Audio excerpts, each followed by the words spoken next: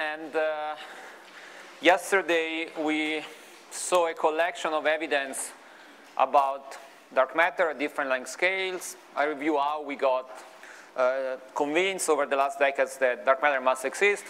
And uh, near the end, I made a list of properties that every particle dark matter model must satisfy. Okay, so let's take it from there. And let me remind you a few important facts. And uh,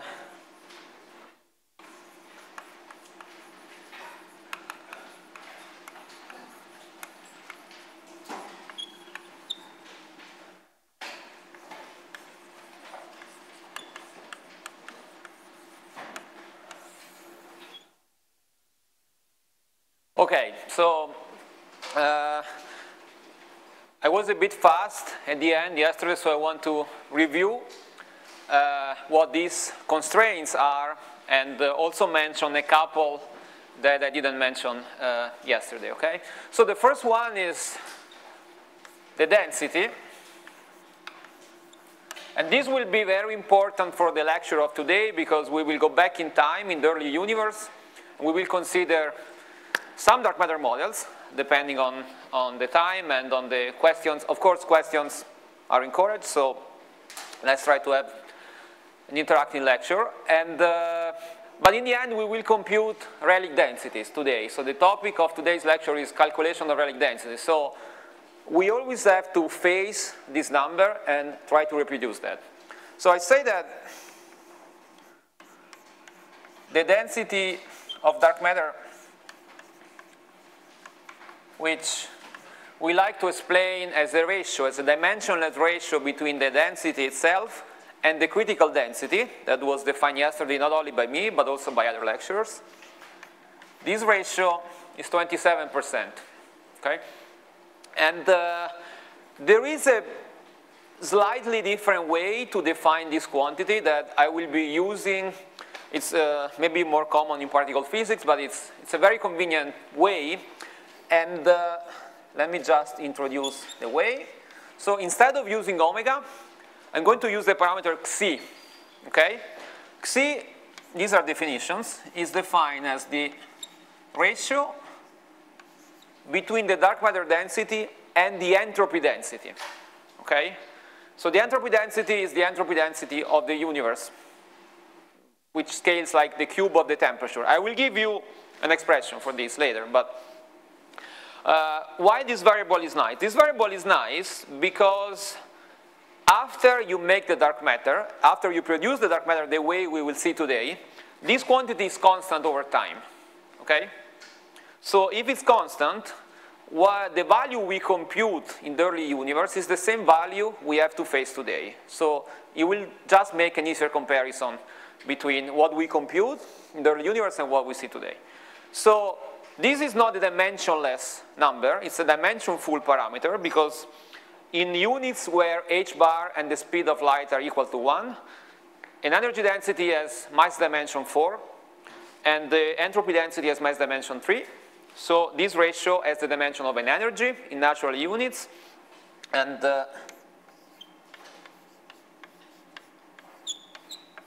it is 0.44 electron volt. Okay, so that's the number we will try to reproduce today with our relic uh, density calculations. Okay, so again,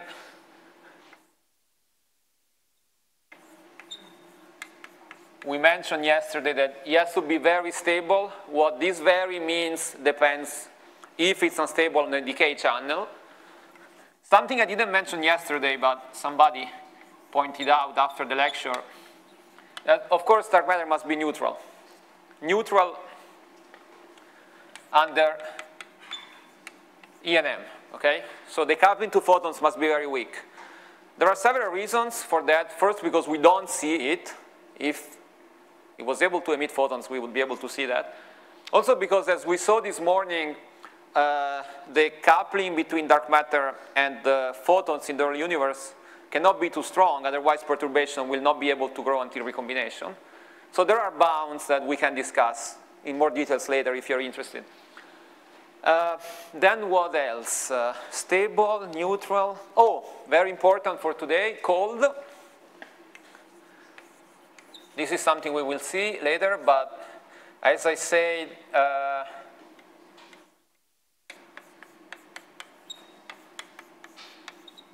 these constraints translates into the requirement that when the temperature of the universe was 1 keV, dark matter must behave as a pressureless fluid, okay?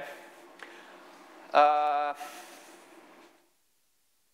cold, stable, ah, okay, last thing we didn't discuss yesterday is what about the mass?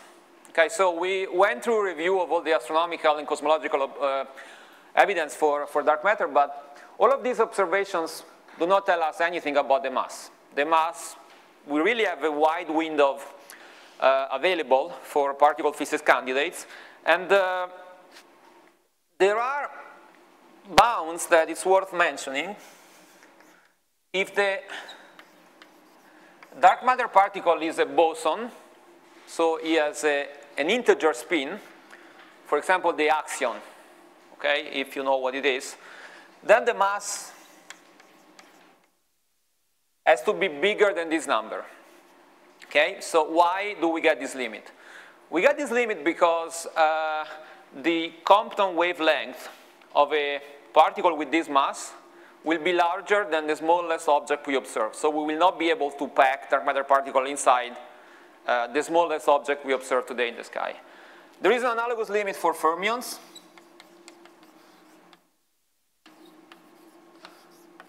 For fermion, the limit is way more severe, so the mass has to be much, much bigger.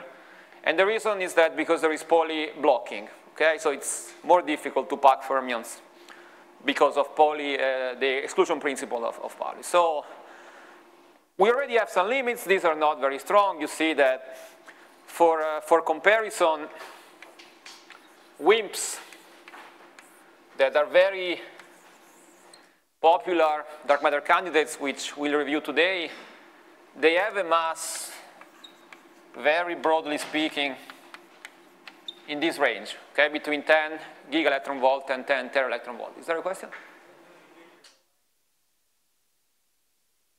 This one? Okay, so uh, this limit comes from the observation of objects in the sky, which are mostly made of dark matter. And these objects have a size because we observe that. Then a particle with this mass has an associated Compton wavelength, which unless you satisfy this bound, it will be bigger than the object we see. And so it's in contradiction with observation. It's not possible to confine the particles within this object. For the fermion it's uh, bigger because the limit is, is, is higher because you go through an analogous consideration, but then you have to fill the Fermi sphere. So you, you cannot put all the fermions in the fundamental state because they are fermion. So there is a Pauli exclusion principle. So you have to populate all the lower energy state, and then you have the Fermi volume, and again, you compare the volume with the size of the object you see. Yes? Uh, so I think this uh, for uh, dwarf galaxies. So these are small, smaller than, uh, than the Milky Way, uh, but they're mostly made of dark matter. So it definitely has to fit within a dwarf galaxy. Other questions? Okay. Yeah. So dark matter can be charged under QCD. It can be charged under QCD, then the limit strongly depends on the mass. So if it's very heavy, it could be charged under QCD. Uh, yes then the production is a bit tricky to compute because, but yeah, yeah, there are mass windows where you can have a color relic. But this, well, also this strongly depends on the mass because all the bounds you put are sensitive to the number density, but we measure today the mass density. So if the dark matter particle is heavier, you have less of them around because rho is fixed, but rho is m times n. So m bigger, n smaller.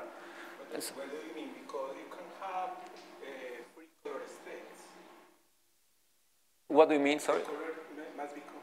Oh, no, no, they confine, they confine, yeah, but they can, I mean, today you, they will be confined today, yeah, but in the early universe when they, before the QCD phase transition, then they will be like, uh, like quark and gluons were uh, deconfined in the early universe. But then, then, of course, they, as the universe cools down, they form bound states.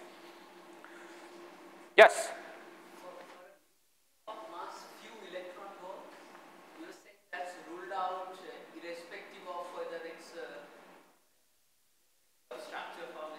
Yes, we will, we will not see that in great details. That's a calculation of a hot relic that I don't plan to go, to go through with too many details because, as you say, it's ruled out. I, I leave it as a homework.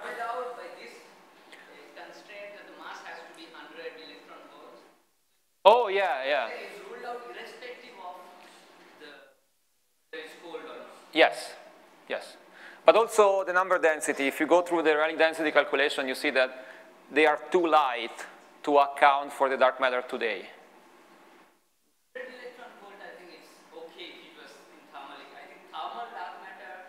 No, no, but we know that the standard model neutrinos have to be lighter. No, no, not standard model. Oh, you mean neutrinos in general? If I have additional neutrinos. Yeah, yeah, this is true for any fermion, any fermion.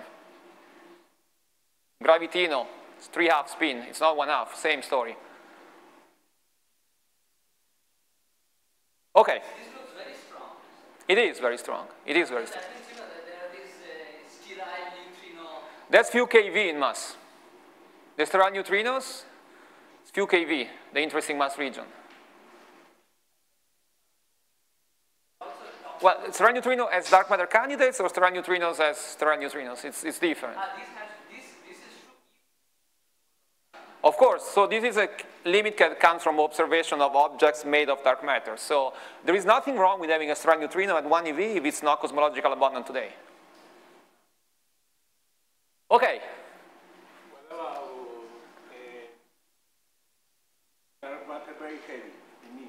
Yes.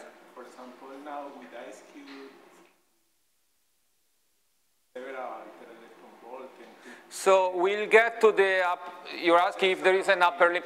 We'll get to that. There are upper limits, but they have big caveats. These are very solid. So I will show an upper limit at the end of today's lecture. But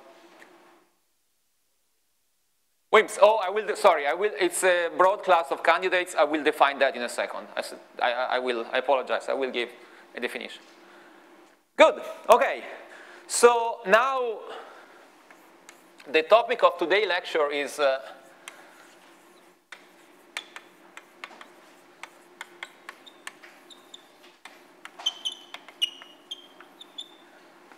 So, I, ah.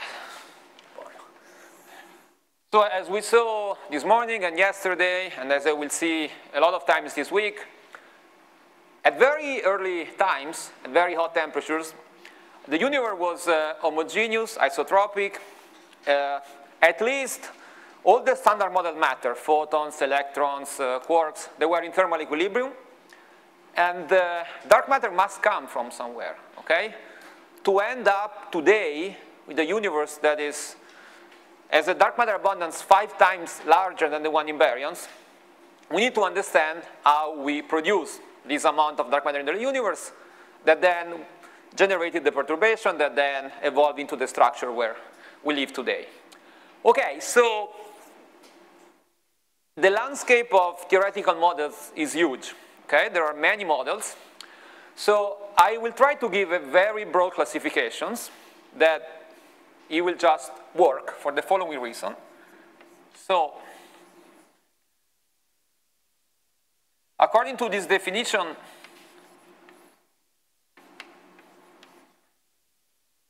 there are two main ways to produce dark matter in the early universe. The first one is thermal production, and it's defined in the following way. The dark matter particle was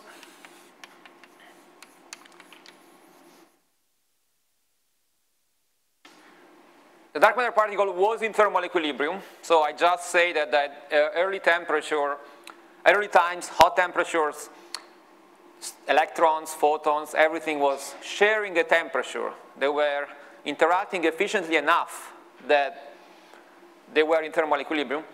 In this first category, the dark matter particle was in thermal equilibrium with them, okay? And, there's a big and, the other important feature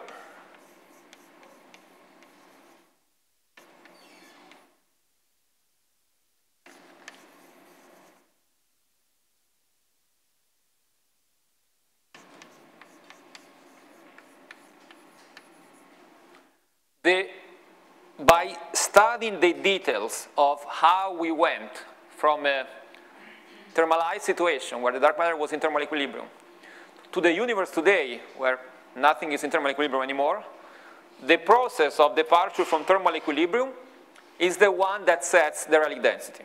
Okay? So that's the definition of a thermal production. And that's the first one. So I say I divide into two different ways. The second way is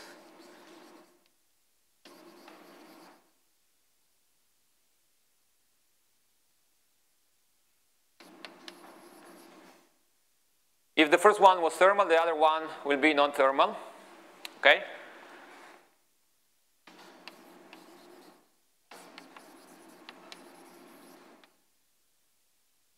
And non-thermal is anything else. Okay? So at least it's not an ambiguous classification. You either are in the first or in the second. So the goal of today uh, is to go through this one very, very well. Not too carefully because the actual way you do a calculation is by solving Boltzmann equation uh, numerically on a, on a computer. What we will do today are analytical estimates to see how the relic density depends on the, on the mass of the dark matter, on the cross-section, on the particle physics parameters. But we'll, we will mostly focus on this. Okay, so that's the goal, to, to understand this. About non-thermal production, I have a couple of examples that I can give you at the end of the lecture if there is time. But the fourth lecture, so the one on Friday, will be entirely on axions. And so on uh, Friday, we will see for sure one example of non-thermal production, okay, the one for the axion. Um, so let's, is it clear, the distinction? Okay, so let's, let's, let's study thermal production. So the first question we need to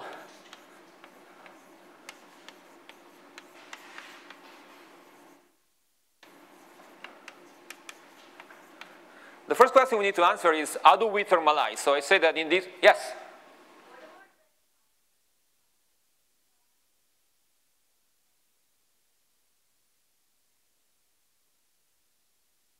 I didn't, I didn't hear well, sorry. Yes?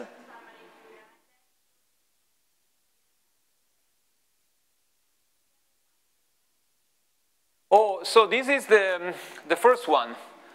Because the only requirement here is that at some point back in the day, back in the time when the universe was very young, the dark matter was in thermal equilibrium. But then we know it's not anymore today. So there is a departure from thermal equilibrium, as you were saying. But the crucial thing, as we will see, is that this departure from thermal equilibrium is the process responsible for setting the relic density in a way that I will explain.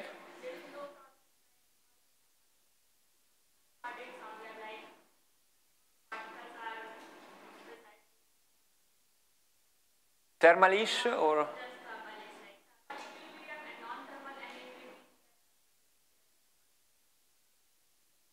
Well, I, it may be then more, if I understand what you're saying, it may belong more to this one. Yeah, Freeze-in is here. Freeze-in is, so Freeze-in is a situation where the dark matter is actually never in thermal equilibrium, but it's produced via scattering of particles that are in thermal equilibrium.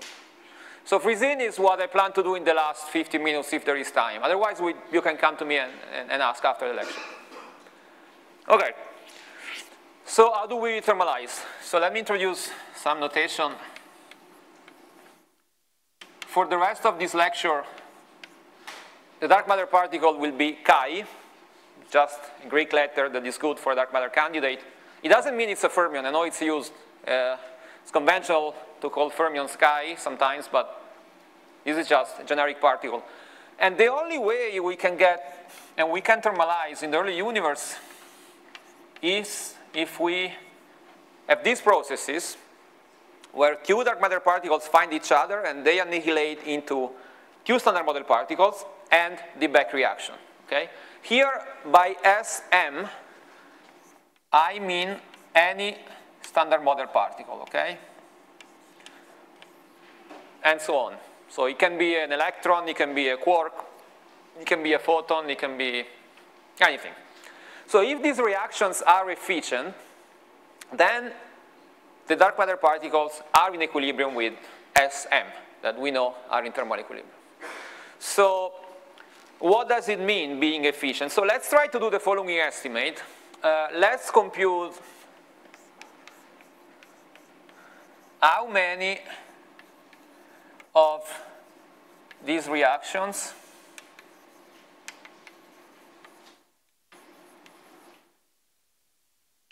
how many of these reactions happen in some time interval, okay, between T1 and T2, where T is just the time, the age of the universe. So this number,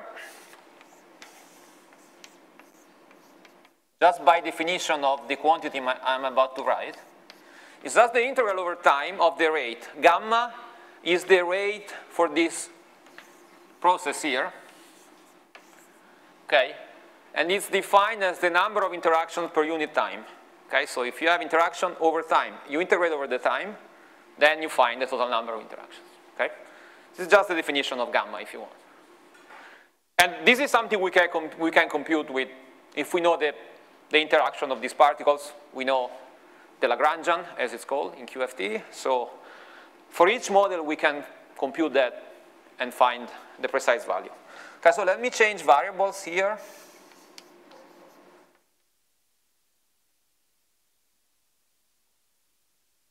Uh, so it is more convenient to use temperature as a variable. And let me also write this.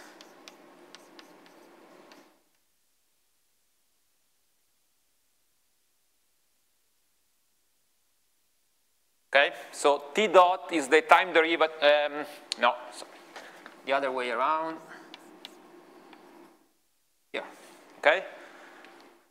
So I,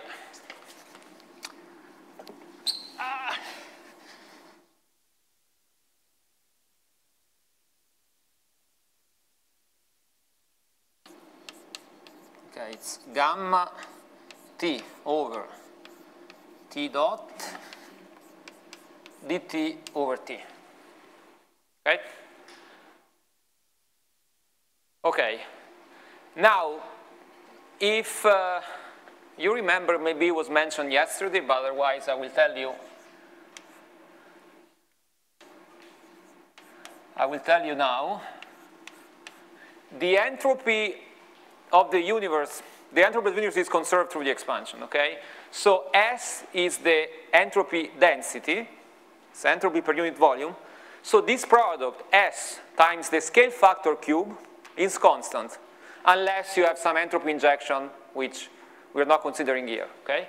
So we also know that S is proportional to T cube. This is a result that uh, you can derive in statistical mechanics. Yes, it's not only belonging to, to cosmology. You take a Fermi-Dirac or Bose-Einstein distribution, you compute pressure, you compute energy density, you compute entropy density. It scales like T cube.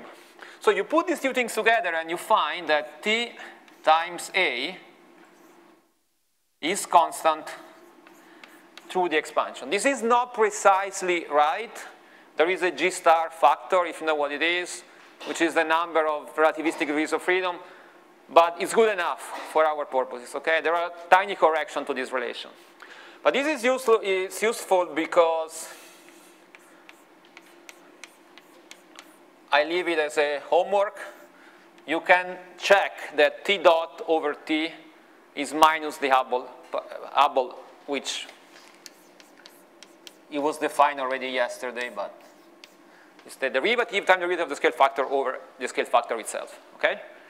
Okay, so now I go back to this equation, and uh, I take care of this minus sign. So now I switch from T2 to T1, and it's gamma over h dt over t, okay? Okay, now let's remember that I define T1 being less than T2 because I was considering T1 as the initial time, T2 as the final time. The universe cools down, so T1 must be bigger than T2, okay? If I consider universe at the earlier time, it was hotter, okay? So this integral is positive, which is a good check. And I put the minus sign, I switched from T1 to T2 to T2 to T1. So this is bigger than zero, as it should be. It's a number of interactions. And uh, now let's do a naive, naive estimate, and let's take T1 equal to 2 T2, okay? So I take the case where the ratio between temperatures is a factor of 2, which is also the ratio between the scale factors. So this is a time interval where the universe doubles its size. Well, the, the volume is actually eight times bigger because it's, it goes like the scale factor cube. But, so I'm taking a time interval where the universe, the scale factor gets twice bigger. And uh, if, I assume, if I assume that gamma over h within this interval doesn't change much,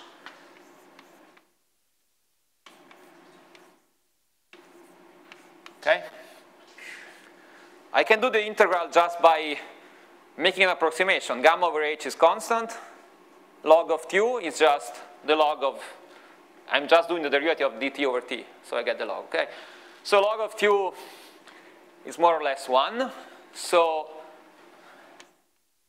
what we derive is that within the time the universe doubles its size, the number of interaction is given by gamma over h up to order one factors, okay? So this is a very useful result because it tells us that in order to establish whether we achieve thermal equilibrium or not, we have to compare two quantities, gamma and h, okay? If gamma is bigger than h, we are in thermal equilibrium. If gamma is lower, is um, smaller than h, we are not, because we do not, do not even collide once, okay? Of course, this is a qualitative uh, criterion. If you want to study thermalization well, you have to solve Boltzmann equation, but this is good enough for our purposes, okay? So it also makes sense because if you think about that, there are two competing effects. So there is this reaction here, scattering of dark matter particles to standard model particles, they want to thermalize. Okay, they want to achieve thermal equilibrium. But the expansion doesn't, because the expansion is diluting the universe and is making very hard for the dark matter particle to find each other. Okay, so there are two competing effects, and uh, each one of them has a time scale associated with that, because the rate, the inverse rate is the time scale it takes to get to an interaction, and the Hubble rate is also a time scale. And so you compare these two time scales, and the, if the time scale for interaction is shorter than the one for the expansion, then you're in thermal equilibrium. If not, you are not, okay? So the first thing to check when you have a dark matter model is that, well, do I ever get to the point where gamma is bigger than h? If yes, then we may belong to this class. I say we may because we also need to satisfy the second one, but at least we satisfy thermalization, okay? Okay. So let's now see how the production works. Okay, so maybe I should delete here.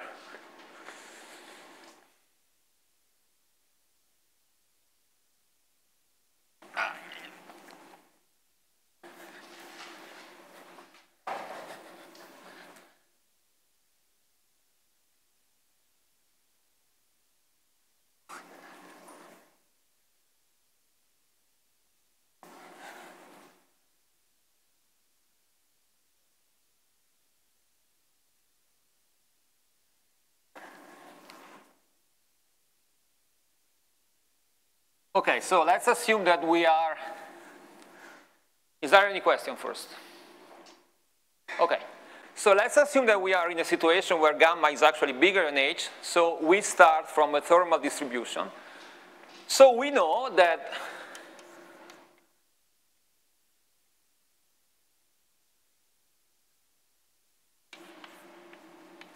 at a high enough temperature, the number density of chi is the number density of a species that is in thermal equilibrium, okay? So what is this expression? The expression depends, so I'll give you two expressions, actually. It's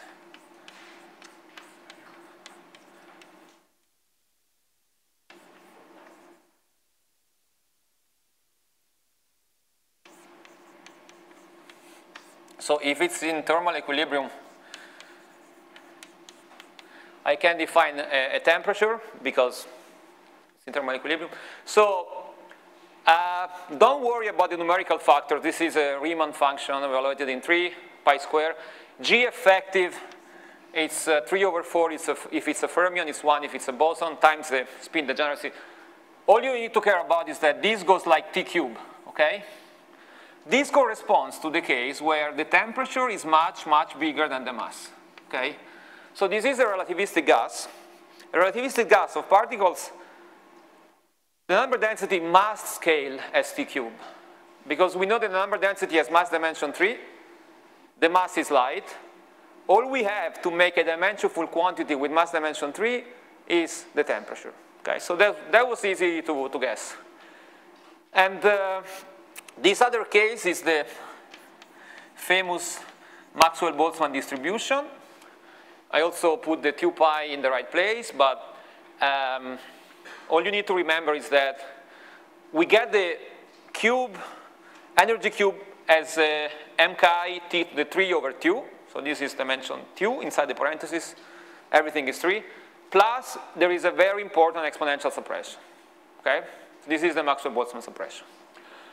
Um, so in the rest of the lecture, I will probably drop many of the 2 pi's because, as I say, to do things properly, you need to solve the Boltzmann equation in the computer, but we want to see the dependence on the density of, on the particle physics parameters.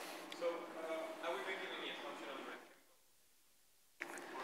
the So the chemical put, no, um, good, okay, very good question. So we are making here the assumption that there is no chemical potential.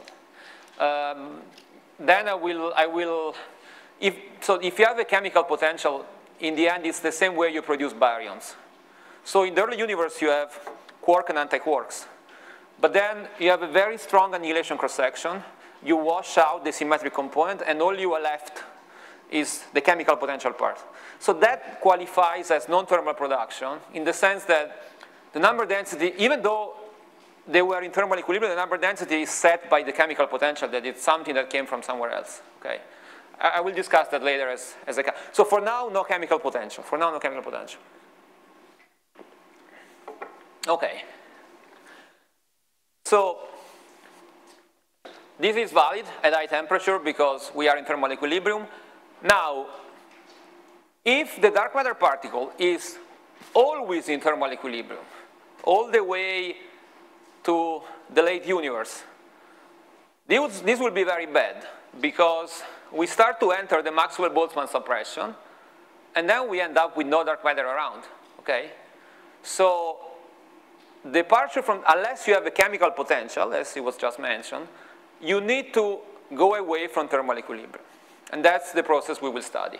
So based on that estimate, and now let me introduce a term that is used very often in, in, in the field the concept of freeze out. So when you stop following this distribution because you do not have annihilations that are effective, the interactions are not able to keep everything in thermal equilibrium, then you reach the freeze out point, okay? From that point, the number density is frozen. It's not constant because the universe expands, but the processes that change the number of dark matter particles are not happening anymore at any significant level, okay? So this is the freeze out, and uh, the freeze out is, there is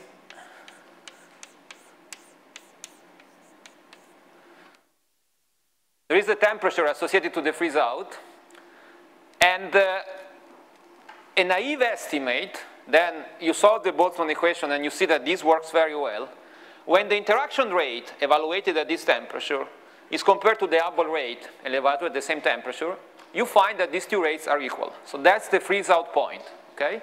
Which makes sense, because when these two are equal, then you basically stop having fission annihilation based on the estimate above, okay? So our goal here is, the calculation I want to perform here is the first one is to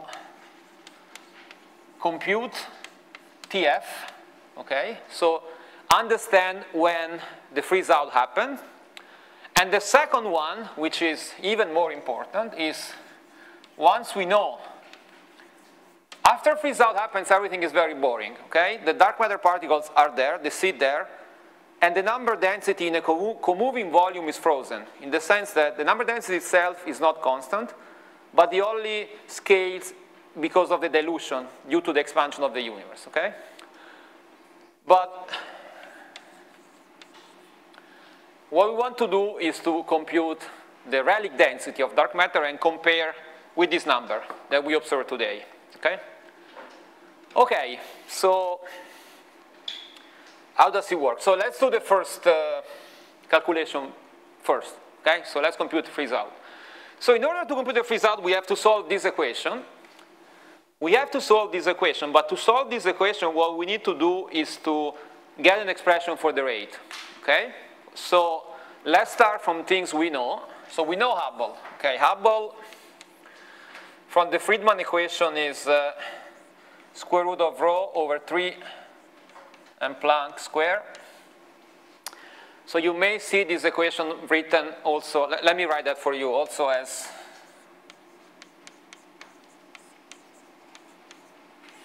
So there are two ways to write this equation, either with the m Planck or with the g, the Newton constant.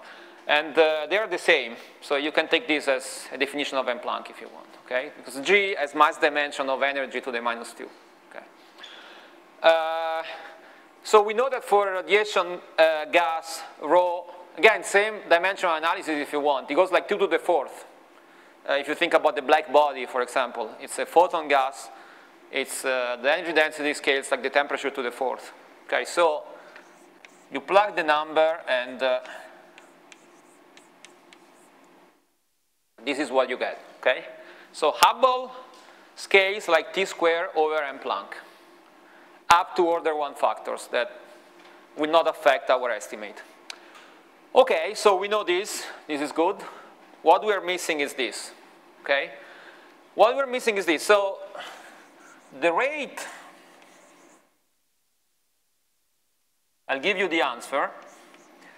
The rate for processes like chi chi going to sm sm scales like the number density times the cross section times the relative velocity between the two particles initial state.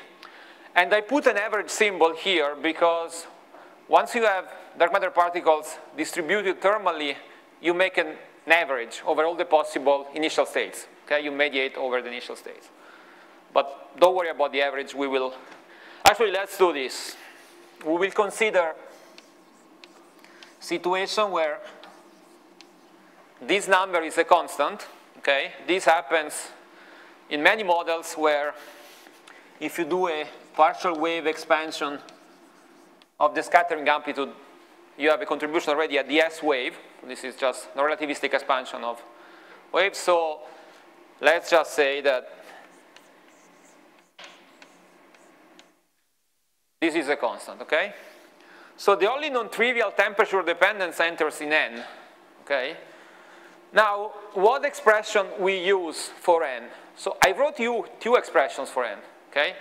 One for the particle when it's relativistic, t cube, and the other one when the particle is non-relativistic.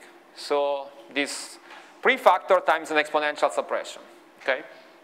So, um, well, the expression you use depends on what value of TF you find, okay? So you can try, and uh, if TF is bigger than M chi, you have what they are called hot relics, okay?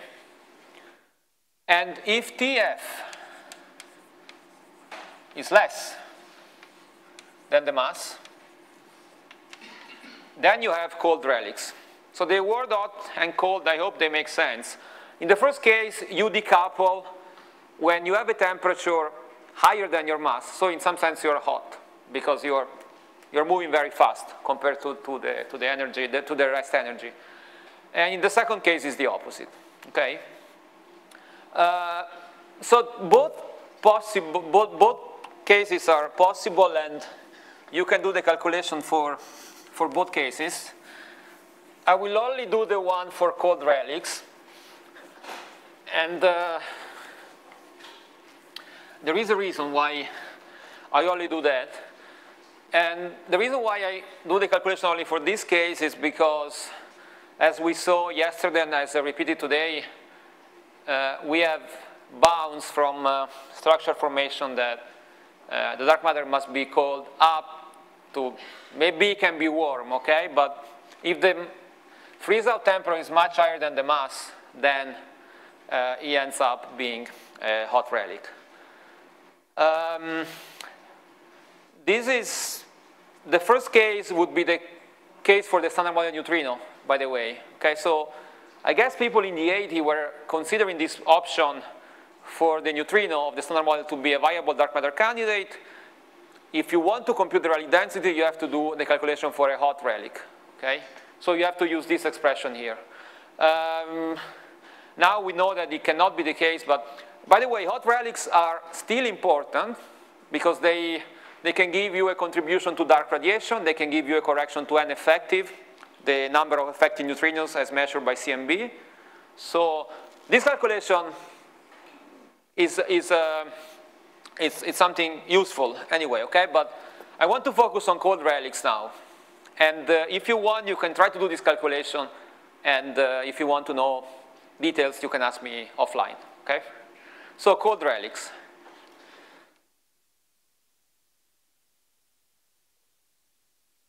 Okay, so for cold relics, so I want a dark matter particle that escapes thermal equilibrium at a temperature below its mass.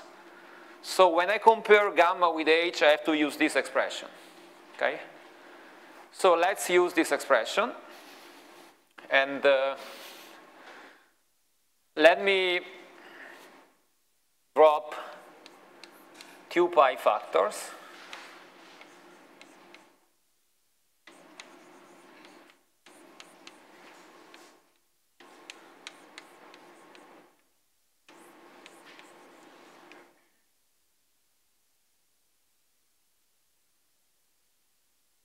Okay. So, um, sorry, I forgot sigma zero here. So again, this is an assumption, but it's an assumption valid in many models. Sigma v is a constant. You can have models where this is not the case, but just to simplify the discussion. Okay, so I'm comparing n sigma v to, to Hubble, and uh, let me give you some number. So M Planck, the way I define it is this. 2.4 times 10 to the 18 GeV. And uh, what we do not know in this equation is the value of m chi. We don't know the value of m chi. And we don't know the value of sigma 0. Okay? So for each value of m chi and for each value of sigma 0, we can solve this equation. It's not something you can do analytically because there is a power law, there is an exponential. You have to give the equation to a computer, but it's easy, okay? It takes 30 seconds. Uh, there is a perhaps better way to write this equation by using a convenient variable, which is x. So you can think as the temperature as a time variable, okay? It's like a clock. If you specify me the temperature of the universe, you, you can, I can tell you how old the universe was, okay? And here is the same. Instead of the temperature, use x, which is a dimensionless quantity, which, which is given by the ratio of the dark matter mass over T, okay? Since the universe is cooling down, T goes down as the universe expands, so x grows, okay? So if you go toward the positive direction of x, you're going forward in time. Uh, So now you rewrite this equation for, and uh, likewise you can define xf, okay? xf is the variable x evaluated at the freeze out. And since we are talking about cold relics, we want xf bigger than 1.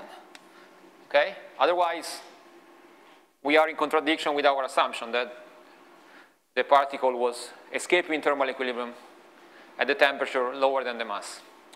Okay, so you do some math in this equation that I skip, that just give you the final equation.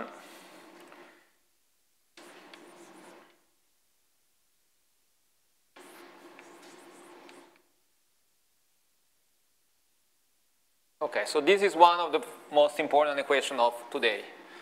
So this is a way to uh, get the freeze-out temperature expressed in terms of x as a function of the dark matter mass and the cross-section. So you see that the value of xf has a very weak dependence on the dark matter mass and on the dark matter cross-section because of this exponential, okay? So you can rewrite this equation as, let's see, uh, xf is 1 half log xf plus log of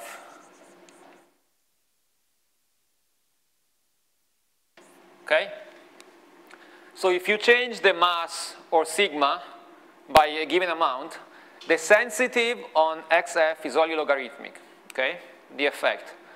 So we can try to plug some numbers, okay? Let's, let's plug some numbers. So let's take, and now I come to the WIMP. So until now I made no assumptions on the mass and on the size of the cross-section.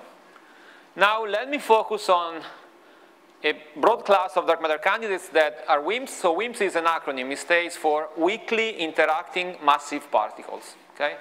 So these are particles that they appear very naturally in extension of the standard model which are aimed to solve other problems. So these theories like supersymmetry, extra dimensions, uh, and other, many other ones, they don't want to provide us with a dark matter candidate. They are trying to solve another problem in the standard model, which is the hierarchy problem but automatically they provide a dark matter candidate. Okay, so you kill two birds with one stone. Okay, so you have one theory that solves two problems. So that's why they are particularly exciting, this, uh, this type of, of candidates. So as I said before, this is the window of mass, broadly speaking, and the cross section this is the important number.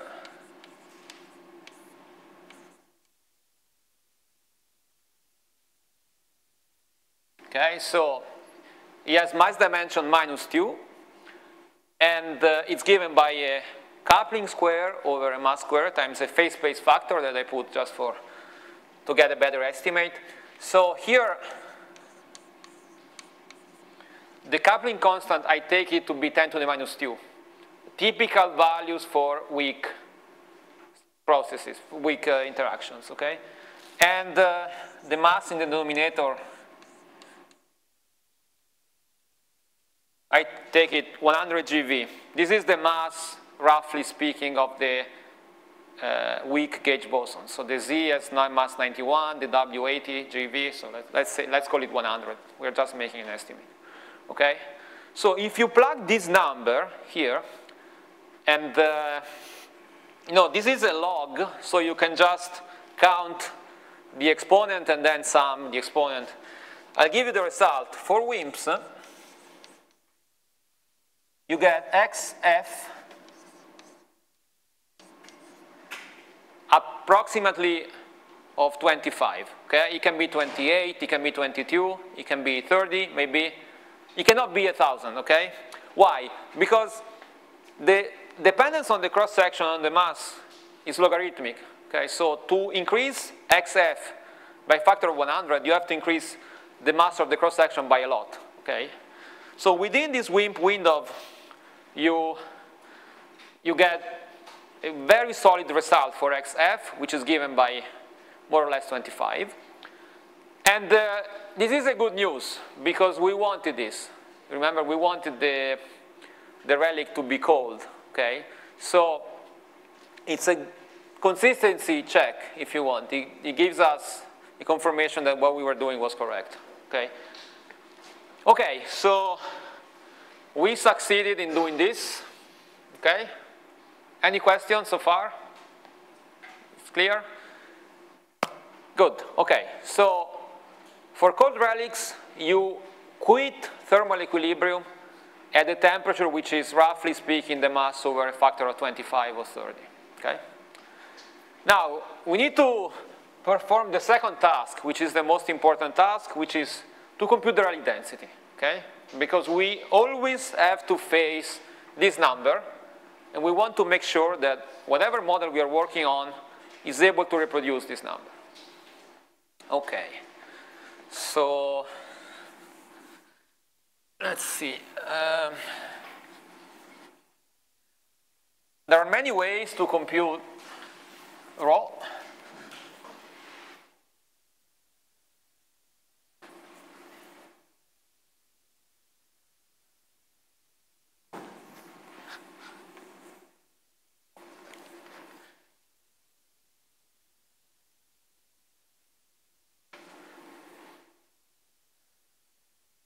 There are many ways. Let's go for a quick one. Uh, so what is rho? Rho, since these are cold relics, all the energy density is stored in the mass. Okay, so rho, actually let's call it rho chi, okay, because we have chi here. Is m chi times n chi, so mass number density. This is true all the time, okay? Now, what is Xi uh, chi? Xi chi is, I have the definition here, is the rho times the entropy density, okay?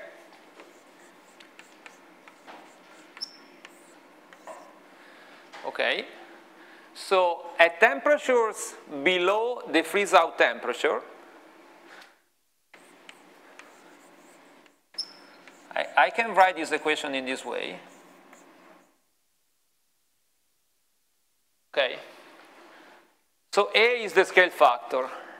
Uh, since the denominator is always constant, S times A cube is constant because the entropy in a comoving volume is conserved. Okay? The entropy density is not constant, but the entropy density times the scale factor cube is constant. And also the number density times A cube is constant after freeze out because there are no reactions happening anymore. And so the number density is depleting its value with the expansion. Okay? So n chi goes like a to the minus 3, 1 over the volume. So n chi times a cube is constant. Okay? So this is constant.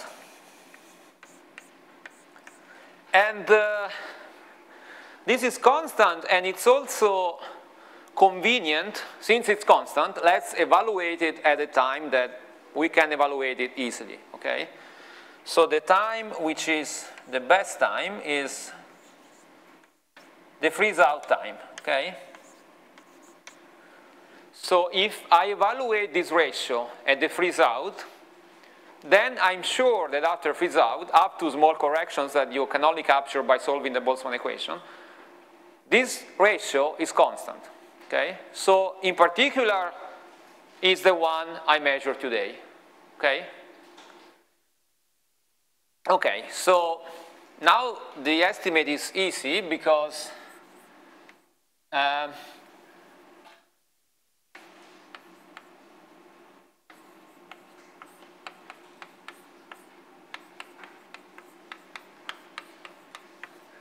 this is just the definition of freeze out. So the number density at freeze out times the cross section is equal to Hubble at freeze out because of the definition. I define the freeze out this way. Okay, so when I focus on freeze out, I also have to specify the entropy density. So entropy density, mean, you can you can give the full expression. This is the statistical mechanics result. There are pi factors, there are G star factors. These are order of one factors, okay? It's just the freeze out temperature cube, okay? So now we are done because CD, sorry, Xi chi, which is rho chi over S, both evaluated at freeze out, but I emphasize you do this freeze out, it stays equal to its value forever, okay? Is what? M chi, um, M chi, N chi freeze out, which is Tf square over M Planck times sigma 0 divided by Tf cube, which is the entropy density. Okay? So I can simplify this Tf, Tf here. I am left to only one power. And I recognize that I have an XF factor. Okay? So XF is M chi over TF. Okay? Okay, now um,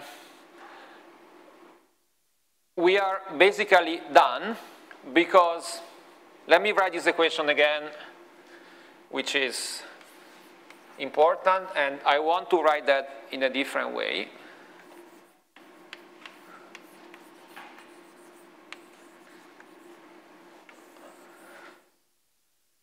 So I can take this equation as a result. For the cross section, I need to produce the dark matter with the right relic density. Okay? So Xi, sorry, this is Xi chi. If you want CDM, okay, so this is the one I measure. I want, now I put the number from the observation. So we saw from the previous calculation that XF is 25 up to logarithmic corrections in the mass and in the cross section. So let's take it to be around 25. Then we have CD. I said it, the precise number is 0.44 electron volt, let's say 1 electron volt. M Planck is 10 to the 18 GeV so it's 10 to the 27 electron volt, okay? Now, a miracle is about to happen here, okay? Because you want to know what is the scale associated with the cross section. So if we write the cross section as in this way here, so let's do that. You have weak coupling 32 pi. And let me, let me call this m star. I don't know what this m is. I want to solve. This must be xf, which is 25, okay, times, uh, sorry, over 10 to the 27 EV square, okay? So I just put the numbers here. Okay? So if I take for the coupling constant, the one, so now you can try to put the numbers, okay? If you put for alpha, alpha 10 to the minus 2, and you put for the m the weak scale, you find that these numbers are in agreement, okay? So if you go to dark matter talks or, or read dark matter article, this equation is also known as the WIMP miracle, okay? So why people claim it's a miracle? They claim it's a miracle because we have reasons to expect new degrees of freedom at the weak scale. So we have reason to expect new particle with this mass and with this coupling for reasons independent on the dark matter, okay? So this is the hierarchy problem in the standard model. And um, as I said, many frameworks like supersymmetry, extra dimensions, they naturally provide us with dark matter candidates. And uh, it's amazing that if you do the calculation, and you, here you have no freedom, okay? You know the coupling constant, you know the mass, you do the calculation, and you find that you reproduce the relic density. So you have this particle for reasons independent of dark matter, you compute the dark matter abundance, and you find that the density is the same as the one you observe. Yes? I think I, I lost some pi of xf Yes. But to get that line, you use the sigma Yes, yes, yes. So that, that, yes, so to do things properly, and you can, you can put here xf as function of the mass and of sigma zero. And then you solve for sigma zero. So that, that's the proper way to do that. Because x, you remember xf depended on m chi and sigma zero, right? So you put a mass now, and then you solve for sigma zero. You, you can totally do that. Now the reason why I put 25 is that I, I had an equation before that was 25 plus log uh, corrections. So if you change this, if you change sigma zero by a factor even of 100, xf doesn't change by much. Okay, so this is just for an estimate on the blackboard. Okay, so if you want to do the calculation, you have to do the calculation with the computer. But this 25 is very robust. If you change sigma by factors even of 100 or 1,000, 25 will stay 20, 28, maybe 30, but it will not change by much. But?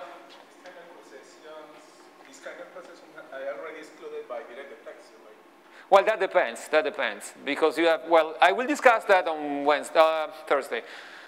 Direct detection. It, it depends because you you have to rotate the diagram, but maybe you annihilate to uh, muons.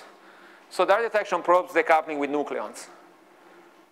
But you may have thermal production set by annihilation to muons or to top quarks or to taus, or you may have spin-dependent cross-section. So in the direct detection. So I, we will go through this on, on, on Thursday, but it's model dependent.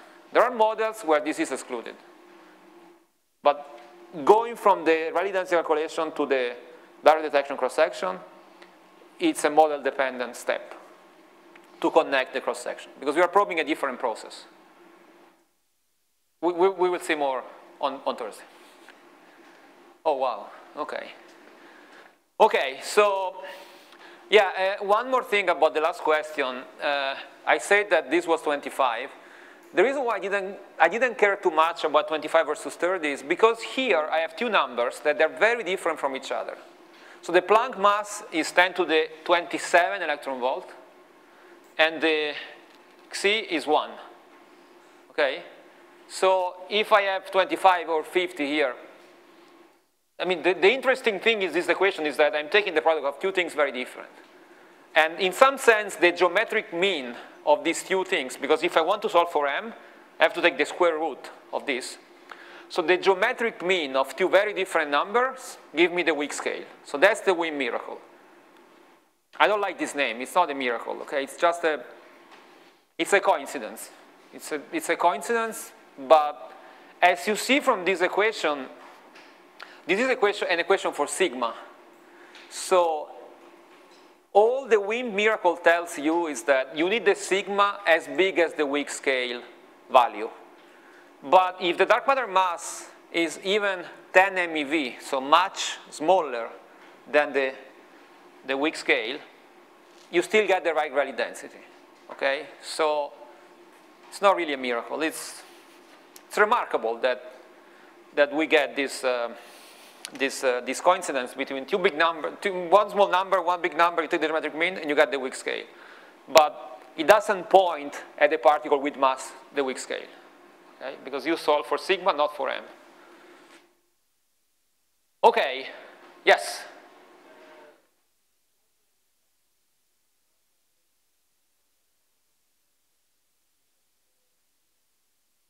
Good, okay, so let, us discuss this now. Let's discuss this now. Okay, so, uh, yeah, let's do that now. Uh, so the question is, what about BBN? Um, so there are constraints from BBN, which was actually the next point I wanted to make.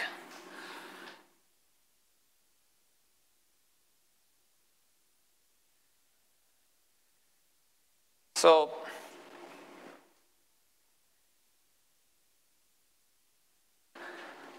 let me summarize here what we, we found so far.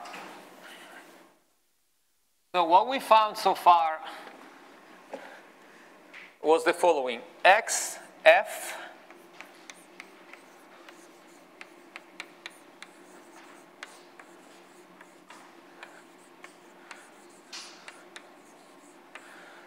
I can solve for xf. I have an equation, I choose m, I choose sigma, I solve. Oh, yes, yes, otherwise it's bad. Okay, very good, thanks. Log of xf. Yeah, yeah, yeah, thank you. So, if you plug the numbers we've been playing with so far, we said xf is 25. Then we have an equation that tells us that sigma 0, in order to reproduce the abundance, is the xf you get from solving the previous equation divided by xc d times m Planck, okay? That was the other equation. Okay, now this equation is telling us that sigma must be very close to weak scale cross sections, the WIMP miracle. It doesn't tell us much about M, because M enters here. So let me emphasize this by putting the dependence on the mass and on the cross-section on the, on, the, on the XF. And uh, so uh, there is really no way this equation is telling me something about the mass other than pointing at the value for the cross-section, which is a dimension full parameter. But there is also a coupling constant inside the cross-section, so I can play with, this, with these values. Uh, now, I claim that thermal relics, and this is precisely the BBN point, no, GMeV. So they must have a mass uh, bigger than 1 MeV, okay? Why? If the mass is lower than 1 MeV, and these are thermal, so this is only valid for thermal. Huh? The axion is a fine dark matter candidate, it's non-thermal, this limit doesn't apply, okay? Why? Because if I have a thermal particle with mass below 1, sorry, with mass um, below 1 MeV, I reach BBN, and then I have this ensemble of relativistic particles with a full T cube abundance, annihilating into standard model particles. So there are two effects. I'm going to change the number of neutrinos, the effective number of neutrinos at BBN, because I have new light stuff. And that's bad for me, because we know that BBN tells us that there must be three neutrinos. There is some uncertainty, but um, but you cannot add, if you add the Dirac fermion Dirac fermion has four degrees of freedom. So two polarization, particle, antiparticle. So you're going to mess up the number of n effective, uh, and, and uh, neutrino, sorry, not effective, the value of n neutrino. The other issue is that this dark matter annihilation also uh, dump energy into the plasma, and so you can affect the way the elements are um, formed in the, in, the, in the BBN processes. And so to stay, well, you can study these things in details, but to be safe, if you say that the mass is above 1 MeV, by the time you get to BBN, you are already in the Maxwell-Boltzmann tail of the distribution, because it's e to the minus m over t, okay? And so at that point, you can forget about, I mean, you, you don't have to forget for the dark matter calculation, but you can forget for the, relic for the BBN uh, processes. So this is an upper limit, um, lower limit. There is also an upper limit, which I mentioned quickly, and uh, it follows from unitarity. So unitarity, and uh, I'll just give you the result, and you are more than welcome to to ask me questions. So there is, if you impose unitarity, unitarity, which just means that when you compute probabilities, the sum of all probabilities must give you, must give you one. There is a bound on the annihilation cross-section that has to be less than 4 pi over m chi squared, okay? but we know that sigma 0 is kind of fixed from this equation. Sigma 0 as a precise number, okay? So you can look at this equation as an upper limit on the mass because you just rewrite this equation as, as this. So somebody asked me before about upper limits. So this is one upper limit I know. And uh, for thermal relics is approximately 100 TeV, okay? Okay, so since we have five minutes left, there is no time to do freeze-in, but let me tell you something very important.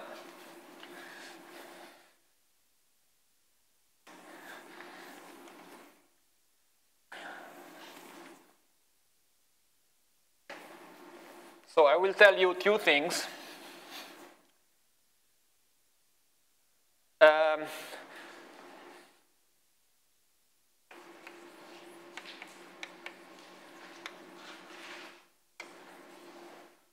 so the first thing is that when you actually work on this and you write a paper, you don't do these estimates that I made on the, on the blackboard. You do a serious calculations which has to be done numerically because you have to solve a differential equation.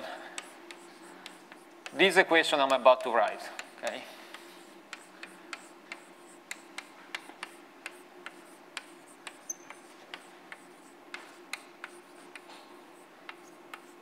So this is a differential equation where you solve for n, chi, as a function of time. And uh, there is a better way, well, better way, more convenient way to write this equation in terms of dimensionless quantities. Y chi, which is n chi over the entropy density. So this is called the comoving entropy density, uh, comoving number density. This is convenient because this variable scales out the effect of the expansion. Okay, so if you are uh, away from thermal equilibrium, y is constant. Okay? And the other variable is this variable we have already seen before, which is a different time variable, is m over t.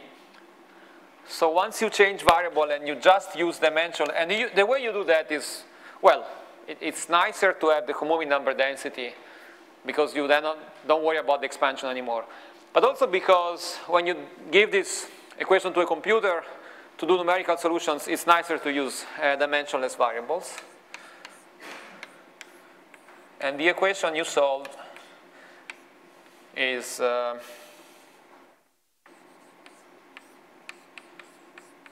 is this uh, x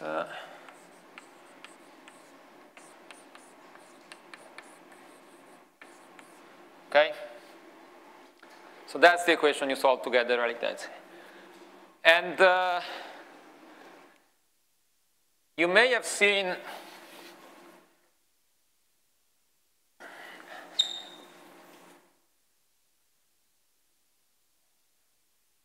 There is a famous plot that is in many textbooks and uh, again, if you go to a dark matter talk, many people start the talk with this plot. So let me explain to you what this plot means.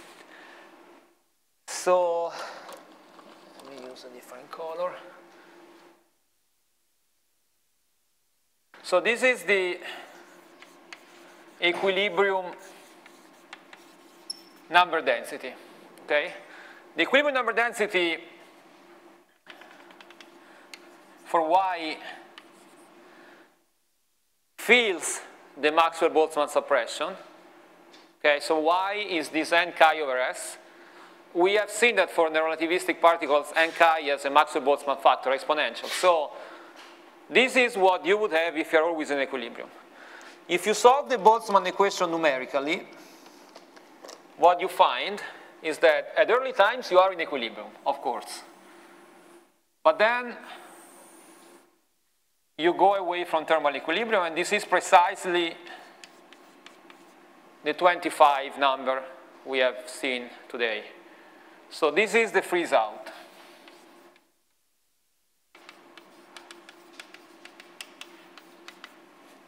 And this is the actual way to do the calculation. So you solve for y, and uh, you look for this asymptotic value that stays constant under freeze out. That gives you the comoving number density today.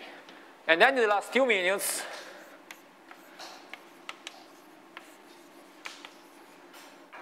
big. Okay, so